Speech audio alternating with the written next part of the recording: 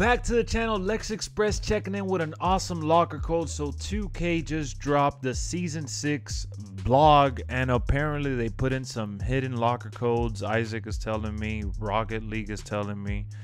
Um, we're gonna be putting those those uh, locker codes in the description in case you guys want to enter it. I do have it on screen right here, so I'm just gonna read it out real quick. RR3CJ, GR40J, 613DC, ECMTB, 1SCTS. All right, so let's see what we get here. What's all available in this ball drop?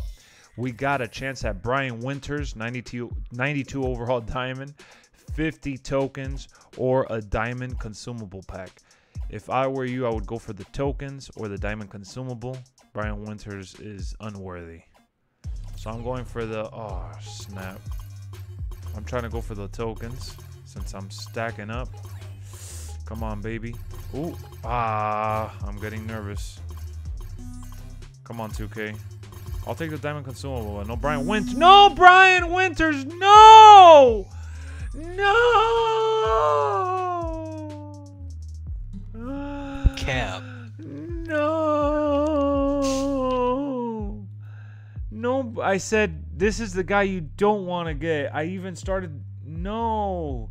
Georgie, did you think you were gonna get something good, Georgie? I'm in principal. I've been sent to Principal Dickerson's office for being a bad boy, getting Brian Winters. No. No, no.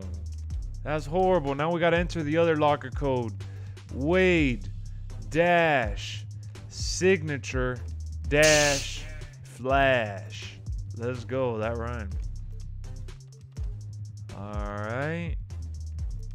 See here. Wade signature flash. Bang.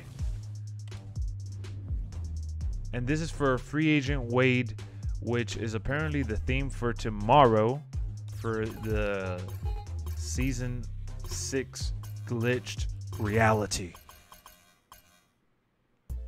Guys, let me know what you guys got down below. If you guys got the tokens, man, that's a big dub. If you guys got the diamond consumables, that's a big ass dub too. We got Wade and Brian Winters. I'm not even going to check their ratings because I'm not even going to use them and they're not even worthy. They're just not worthy, okay?